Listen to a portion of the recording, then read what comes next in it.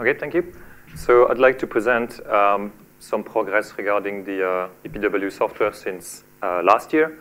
So I'm working in uh, the group of uh, Feliciano Giustino in Oxford. Uh, I'm here, and I'm also I came with Martin, who will talk about Sternheimer GW just just after me. So briefly, what is um, the uh, EPW software for those who don't know? So that's an electron phonon Wannier uh, code. So the main idea is you have um, some physical properties like uh, the Hamiltonian or the electron phonon matrix element. You compute that on a coarse K and Q point mesh. And then the idea is to use maximally localized Wannier function to uh, interpolate into real space, and then you can um, interpolate back onto a much denser K and Q point grid. And this is very useful for some uh, physical property that requires very dense uh, integrations. So the developments since, uh, well, the last um, developer meeting in, in, in, January 2016, there was some code beautification.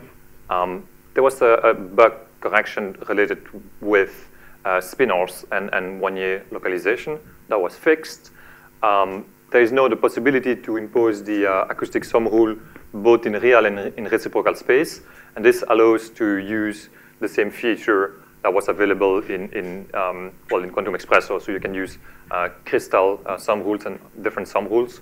So that was uh, quite useful in some, some systems.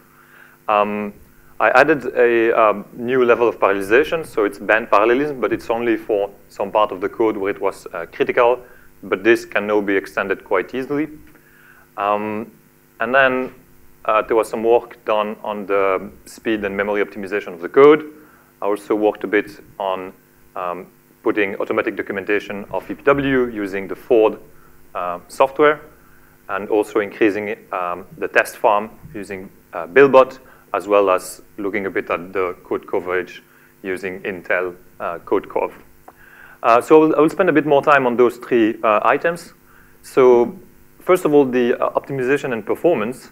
Um, I was made aware of this initiative. So this is called Performance Optimization and Productivity. It's a European project, so anyone in Europe can apply. It's free of charge. You just go on the website, and you have to fill a, a small form, so it's something like less than two page. And then you get in contact with some people that will use, that will help you um, um, assess the performance of your code. So I actually, I did it for EPW, and um, together with them, we used uh, Scalasca to, to assess the performance of EPW. And uh, this helped us to detect some load imbalance uh, due to uh, K-point splitting and also some I.O. And after solving that, the um, speed up was, was much better. So before that, uh, I was decently speeding up to, let's say, 200 core maximum. And the goal was to go to 1,000. And by doing, by doing this analysis, it was possible to get a decent, um, um, let's say, scaling up to about 1,000 core. So that was quite uh, useful. Um, about the, the documentation, so um, we tested uh, different ones, so also Doxygen. Um, in general, uh, so Ford is extremely easy to set up. Um, only thing that you require is wh whenever you put two exclamation mark, it will count as a uh, documentation that will be treated by Ford. Um, but the advantage of Ford is that it, it's really it's still maintained. It's generate very good looking and uh, modern graphs. Uh, it supports LaTeX. Uh, it uses Markdown. Uh, and it's still actively developed. Uh, it's just a coincidence by, by someone in Oxford. He's a, a, guy in, in earth science. Um, so that's quite nice. maybe I can quickly show you what it looked like for um, EPW. So this is really something that you get automatically uh, almost from, from the software when you install it. it. It's quite nice.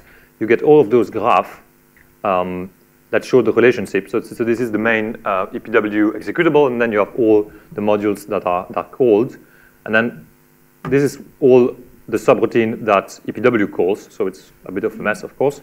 But then you can navigate, zoom, and whatever, and you can click, and then you go to this subroutine, and this is all the modules that this subroutine is called for, and then those are all the calls. So I think it's quite nice. You can always put comments. You have so I think if Quantum Espresso wants to move in the direction of automatic documentation, I really think that uh, Ford is the best one for Fortran. uh, and better than Doxygen. And, and I would definitely recommend uh, using Ford. And in the next uh, days, when we do the, the code fest, I'm happy to set up Ford for Quantum Espresso. Um, obviously, I would need help to make the documentation, but I'm happy to, to start a bit. Um, yeah.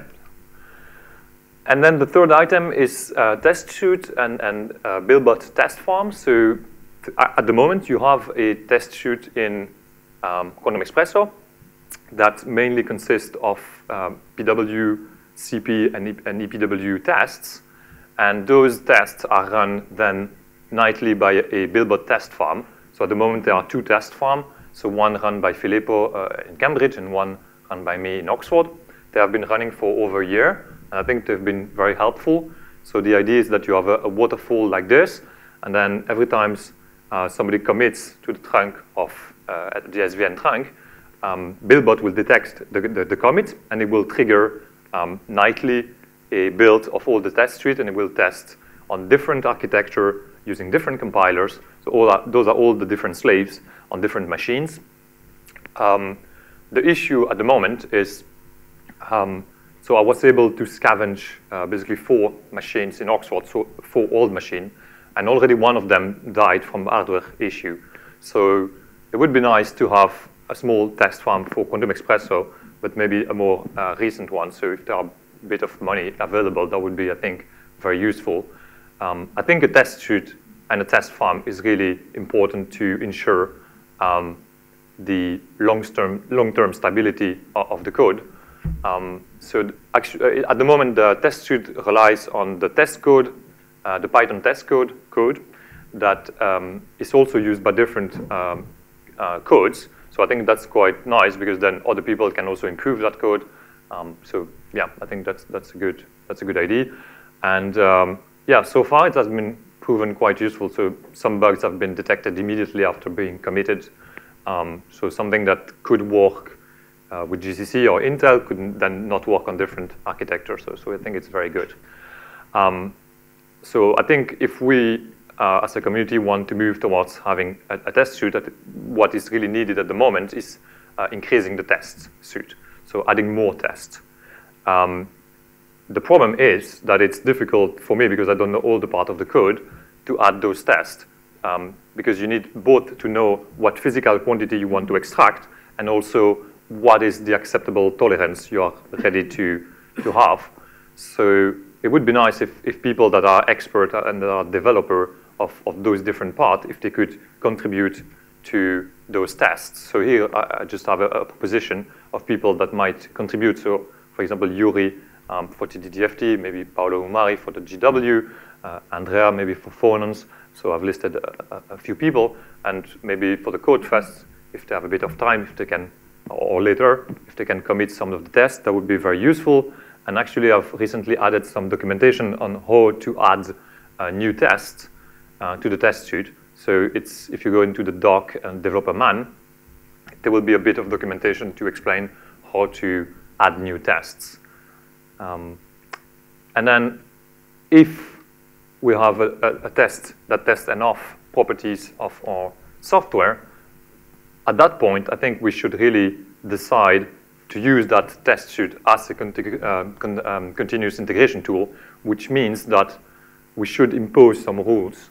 So either using a software or using a hardware. So the software would be simply if when you commit a development to the SVN trunk, if you commit breaks the test farm or part of the test farm, you should at least automatically receive an email that tells you, oh, you didn't pass the test, uh, test farm, please do something about it. So at least you know.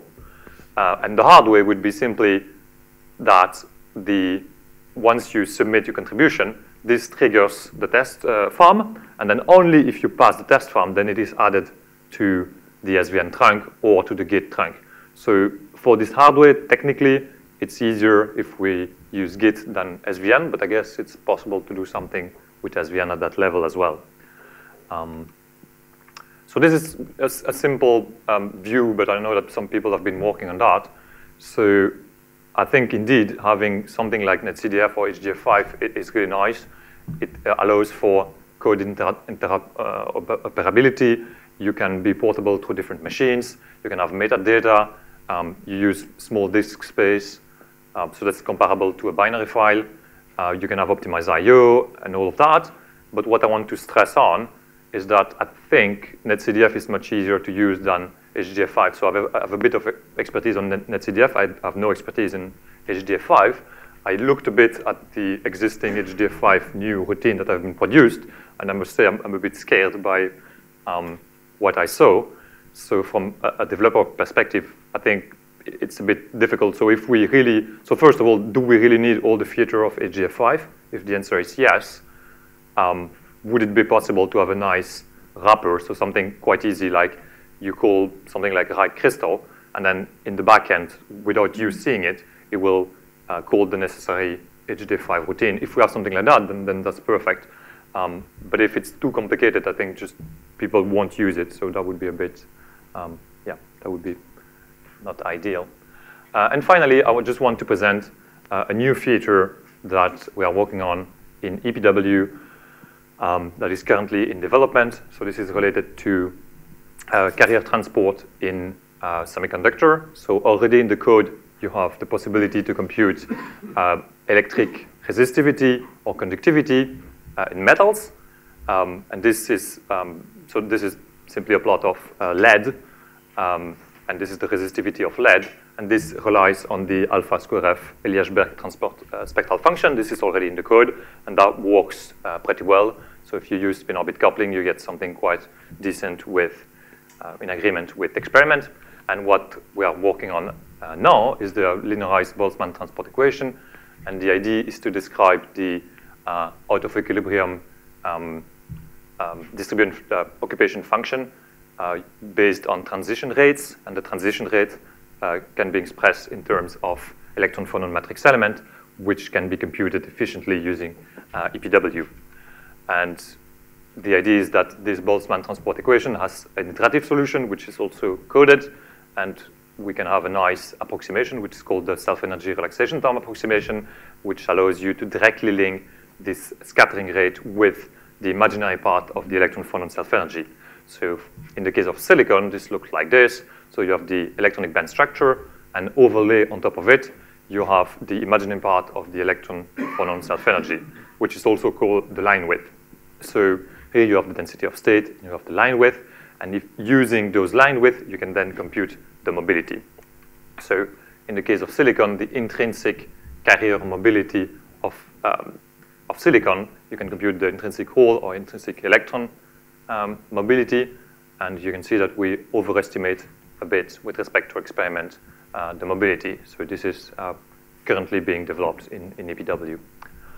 Um, so I want to thank the people that work with me on EPW, so Carla Verdi, um, Giustino, and uh, Roxana Margine, as well as um, some funding and computational time, and you for your attention.